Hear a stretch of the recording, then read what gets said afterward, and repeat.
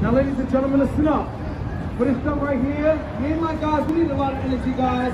I know today is Monday, but we can do it. Now, you know what? Here we go, guys. Once that music comes on, everybody clap. I got you back.